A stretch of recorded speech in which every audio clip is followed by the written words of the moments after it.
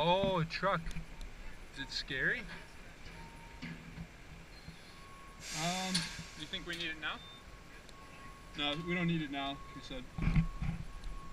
Oh, you scared of the truck?